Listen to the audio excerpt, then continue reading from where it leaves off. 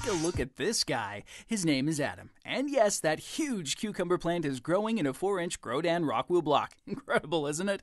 Now, Adam is a professional grower and he created this monster to demonstrate the power of rockwool when you dial in the irrigation. So I performed a little, slightly more ad hoc trial of my own. It all began last August when I started some Tokyo hot chili peppers in a Grodan AOK plugs and then transplanted them into 4 inch Delta blocks. My basic plan was to take my four best plants to full maturity indoors under this HPS 600 watt grow light. But here's the thing the first plant was simply transplanted onto a Grodan Unislab. That's a sort of miniature rockwool grow slab, containing just 304 ounces of rockwool or 2.375 gallons, just slightly more than the 6 inch Hugo blocks. The other three plants were eventually transplanted into the luxury of 5 gallon fabric pots filled with a mixture of 70% Mother Earth coco coir and 30% Mother Earth chunky perlite. As far as soilless potting mixes go, they don't come much cleaner and better than that.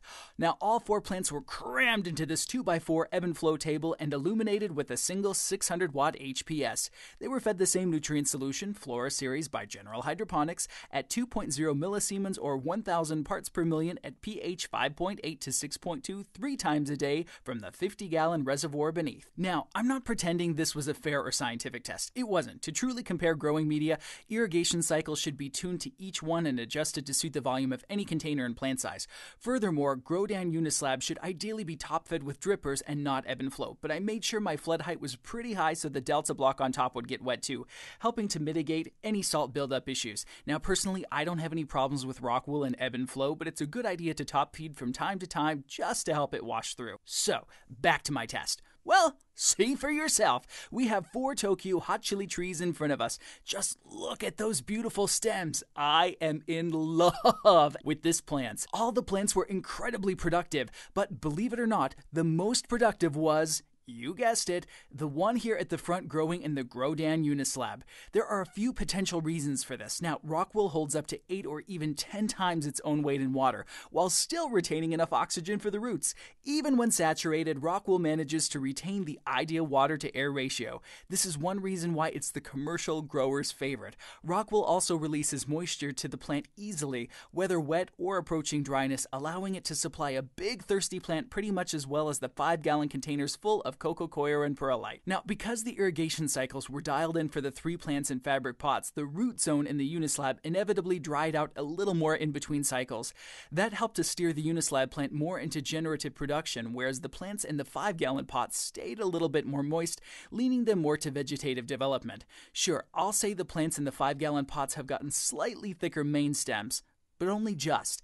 As far as yield goes, I've enjoyed 15 to 20% more peppers from the Grodan plant, and remember that's less than half the amount of rockwool. It's incredible! The chili plant in the Unislab didn't need to invest so much energy into root production as it's getting everything it needs from the Flora Series nutrients in a relatively compact space. This is a key feature, my friends, of hydroponics in general. Now, plants are able to invest more energy into flowering and fruit production and less into root production because they're getting everything they need already, whereas plants grown in soil tend to have to go searching for more food and invest more energy into new roots. Now, I know I've already talked up these Unislabs, but I highly recommend these puppies for indoor gardeners who want to get maximum production without having to haul countless bags of growing media in and out of their houses. Sure, you can go pretty much medialess with DWC or NFT, but I love the moisture and nutrient buffer these slabs provide. Rockwool provides growers with an all important safety net should a pump fail and you don't discover it immediately. And they're also completely wrapped, which prevents any algae issues. So, folks, if you haven't used grow slabs before, keep the wrap on when using them. Just be sure to cut adequate drainage slits at the bottom of the packaging. Now, other Rockwool options include the Big Mama, a huge 8 inch block that's ideal for mother plants. These are best top fed with drippers too. Now, Grodan also makes larger slabs for between 2 and 4 plants, or there's these awesome grow cubes which you can treat like supercharged loose fill growing media. If you fill the 5 gallon pot with these guys, you could easily grow the same size plant possible with 10 or more gallons of soilless mix. Now, what other things can you do to increase yield indoors? Well, plant training is a must. I'm always encouraging my fellow growers to try soft mesh netting to create screens of foliage, and prodigious pruning for more flowering sites at the same time. Get to know your plants and how much nutrients they can handle. Then continue to feed at the highest EC possible to maximize your yields and create the best tasting, most dense final products. Obviously, pH and nutrient temperature need to be kept in check too. Regular automated watering is a must when you're growing big plants in small amounts of media. You know, plants appreciate the consistency and security of knowing when their next meal is arriving, right? Which we all kind of do. Speaking of which, my stomach is growling. So, another fantastic thing about Rockwool is that it's really easy to flush. Now, I'm going to make a separate video about flushing, not the upper decker kind, to go into more detail. But for now, know that Rockwool doesn't bond to nutrients like, say, Coco Coir does. It has zero cation exchange capacity, which means you can rinse it clean of residual mineral salts relatively easy, resulting in a cleaner tasting crop. It's also easier to correct any deficiency or toxicities as you grow.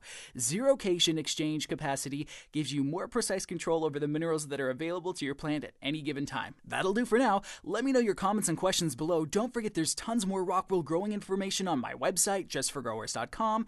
If you're not already subscribed, know that you hitting that big red button of joy is obscenely important to me. Believe me, I lay in bed at night awake and think about it. So please, just do it. It's free and it gives my life the verisimilitude of purpose and meaning. Thanks for watching and see you again soon.